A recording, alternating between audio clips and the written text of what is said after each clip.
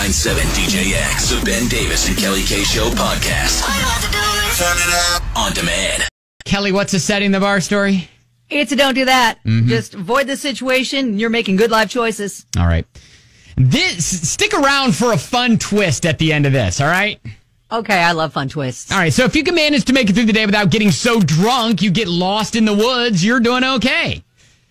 Okay, not necessarily ideal when you're drunk. All right, A dude to wake up. Yeah, dude in Turkey uh, was uh, had gone out drinking with some friends, wandered into the woods, but then one in the woods, the guy saw people like a manhunt, like looking for someone. So he, so he actually joined in and started helping him. Really? Yeah, for who are we looking for? yeah for hours he was helping wow. this this uh, manhunt try to find the person they're looking for. Eventually, he noticed that they were chanting his name.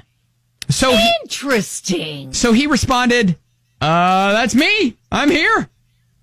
Oh, So apparently, MG. so apparently, when he wandered into the woods, he got lost. His family got worried and put out a manhunt to look for him. So A then, little he, missing person. yeah, so report. then he he runs into the manhunt who's looking for him, and is like, "Oh, wait a minute, hang on a second, you're looking for me. Oh, okay, oh wow. yeah." So For hours though, he's looking for himself yes, in the woods with a search party. That's right. So the authorities confirmed that he was exactly uh, who he said he was, called off the search, and gave him a ride home. So Well, great. It's like you know what, guys, well done. All right. So this is kind of a feel good story.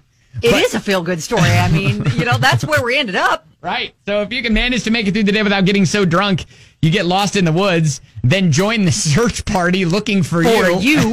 then you're doing okay.